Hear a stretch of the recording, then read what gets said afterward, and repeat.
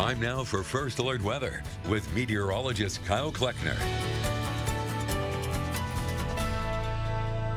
Well, welcome back and thanks again for joining us this Thursday morning. Kind of a chilly morning out there when you factor that wind in, but temperatures don't look too bad. Got those temps in the 40s right now. Good chance of rain throughout the morning, so maybe not the best of days to be heading out to the park or any outdoor activity. Might have a better chance this afternoon once the rain does clear out, but still, even though have some cloud cover, some strong winds this afternoon, temperatures will climb into the 50s for a lot of us later on.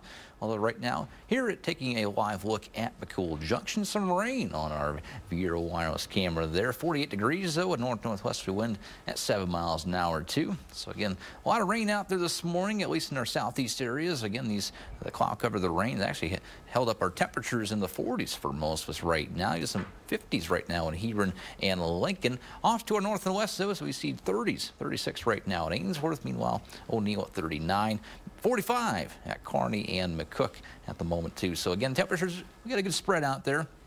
Should see those highs in the 40s and 50s later on this afternoon. Unfortunately, these winds a little breezy right now, 5 to 15 miles an hour at most spots. They're going to pick up this afternoon even more. Again, we can see some winds of, say, 10 to 20 miles an hour, even 20 to 30 miles an hour in the forecast. So we could see some gusts a little stronger than that, too. So, again, a breezy afternoon on the way, and there is that rainfall right now. Most of it concentrated kind of along I-80 between uh, the Tri-Cities and Lincoln at the moment, and even a couple of heavier bands of rain in the mix here as well. Got another little uh, thunderstorm even in the Belleville area right now too. We Get a closer look at some of this on Viper radar. A couple heavier bands of rain and around say York Cool Junction like we just saw there in our camera. Just to the south of Seward, in fact just to the northeast of Central City, maybe up in the Silver Creek area. So again, we got some rain out there this morning, even a thunderstorm around the Belleville area. Quickly work its way off to the northeast out of our coverage area at the moment, but still we could uh, maybe see a lightning flash this morning. Maybe hear a few rumbles of thunder out there as well. Well, there is that low pressure system. It's provided us all this rain here in the overnight hours. Actually, had some tornado reports down in northeast Kansas last night near Topeka. So again, most of that severe weather missed us to the south we got some beneficial rainfall out of this system. Again, we'll see rain continuing throughout the morning hours, probably lasting in the early afternoon hours. Should see things clear out later on this afternoon, more so tonight. High pressure builds in for tomorrow. We got things drying out for us and really clearing out those skies as well. Lots of sunshine in the forecast. After today, the only other thing in the forecast, the next couple days that we're even looking at is a cold front coming through on Saturday. It's going to cool the temperatures down on St. Patrick's Day Sunday. So again, otherwise, well, rain activity out there today. 52 for an afternoon high, a little cooler than yesterday. Obviously a little windy too. 33 for a low tonight. Chance of showers maybe early, then becoming partly cloudy overnight as that high pressure builds in.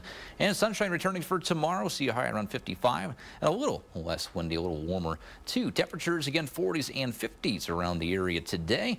We see lows back down to 20s and 30s for tonight. Still kind of a mild night considering it still is March, but still temperatures tomorrow a little bit warmer. Most of us seeing highs in the 50s around the area.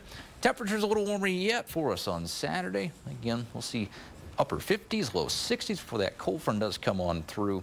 Again, probably Saturday afternoon, Saturday night sometime, maybe early Sunday morning. Those temperatures going to be falling throughout the day, potentially on St. Patrick's Day. Otherwise, temperatures after Sunday looking really nice for us, back up in the mid 60s, right on time for spring.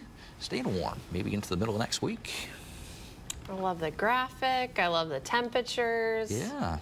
Just ready for spring. I think a lot of people will be dancing like that leprechaun for those temperatures next week. I think so too. I certainly will. Thanks, Kyle. you got it.